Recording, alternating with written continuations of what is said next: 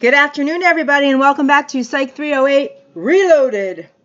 We are, as you know, going to finish talking about sex addiction today. A very, very, very, very, very, very controversial topic. How many varies did I just say? A very, very, very, very controversial topic, as you know, if you watched the previous lecture.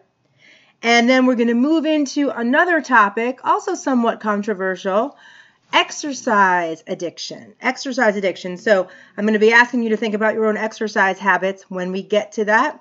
And I'm going to be asking you to complete an exercise survey as part of a class activity when we get to that. But for now, who remembers, who remembers of the three types or subtypes rather of individuals who've been studied with regard to hypersexuality or sex addiction?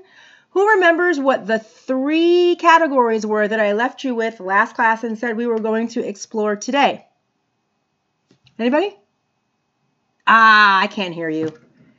We're on video. I can't hear you, and we're not live. We are asynchronous. So I want you to see if you can remember. Take a moment.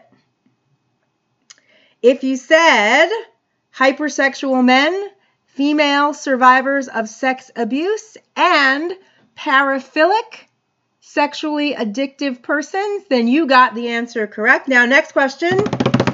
Who remembers which of those three I said has a grounding in the actual diagnostic literature?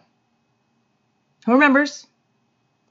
If you said paraphilic, sexually addicted persons, you are correct. Of the three, that is the only one that actual has a grounding or actually has a grounding in the clinical diagnostic literature in the Diagnostic and Statistical Manual of Mental Disorders. That said, I want to talk about some research today on these three categories. So meet me on the next slide. See you there.